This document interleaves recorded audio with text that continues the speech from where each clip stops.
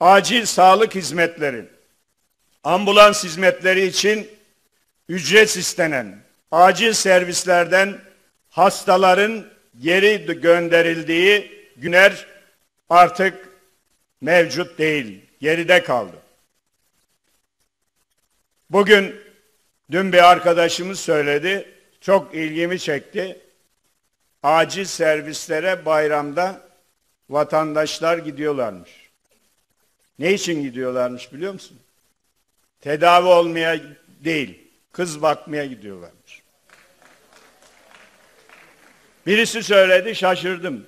Yani evlendirmek için oğlunu kızını artık gidip o kadar hastaneler şirin hale geldi ki gidip orada dostluklar kuruluyor, yuvalar kurulmak için ziyaretler yapılıyor.